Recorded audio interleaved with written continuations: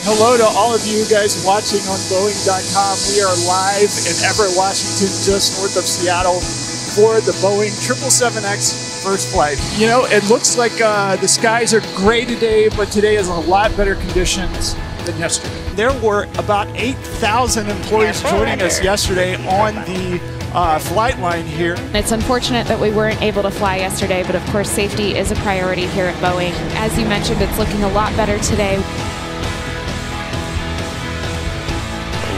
Heavy Painter, Roger, advising you're ready for departure. Eight world-class customers that have purchased this aircraft so far, ANA, British Airways, Cathay Pacific, Emirates, Etihad, Lufthansa, Qatar, and Singapore. A huge thank you.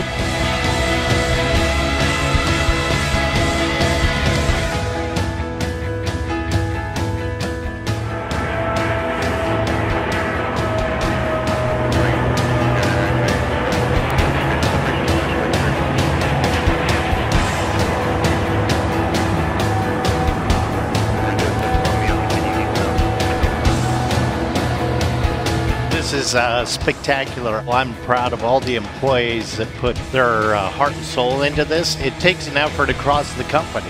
The 777X, with its you know long range capability and increased capacity, is going to really change the world one more time.